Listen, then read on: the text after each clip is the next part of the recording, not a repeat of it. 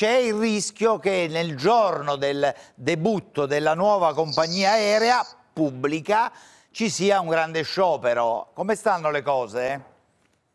Guardi, l'Italia naturalmente non è il mio settore perché noi siamo metalmeccanici, Sì, ma sì. alcune cose le posso dire sicuramente.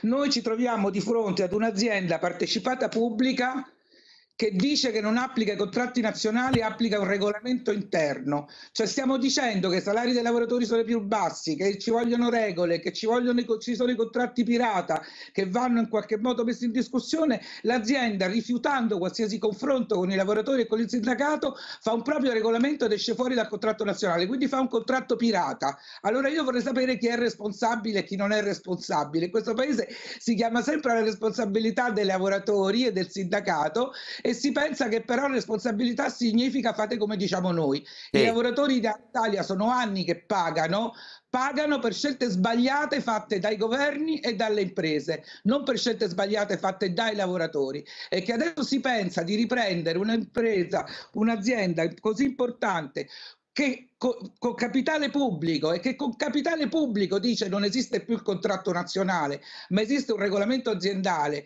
e i lavoratori di Alitalia vediamo, forse assumiamo quelli o forse li lasciamo a casa, ne assumiamo eh, di nuovi, Mm. eh, che appunto lasciando nella disperazione le persone non ci sembra molto Allora- come modo di iniziare eh, eh, e soprattutto in una visione in cui la ripresa e la resilienza non dovrebbe riguardare, dovrebbe riguardare l'insieme del paese che è fatto dalle persone che lo abitano e ci Sì. lavorano. Eh, Lupi, eh, la vicenda